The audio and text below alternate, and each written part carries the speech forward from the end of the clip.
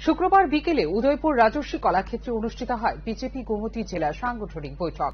এদিন সাংগঠনিক বৈঠকে পৌরোহিত্য করেন মুখ্যমন্ত্রী বিপ্লব কুমার দেব এছাড়া এদিন অন্যান্যদের মধ্যে উপস্থিত ছিলেন মন্ত্রী প্রণজিৎ সিংহ রায়, বিধায়ক রঞ্জিত দাস, বিধায়ক রাওপদ জমাতিয়া, বিজেপি গোমতী জেলা সভাপতি অভিষেক দেব রায়, বিজেপি প্রদেশ সম্পাদক রতন ঘোষ, উদয়পুর পুর পরিষদের চেয়ারপারসন শীতল চন্দ্র মজুমদার সহ দলের অন্যান্য নেতৃত্ব।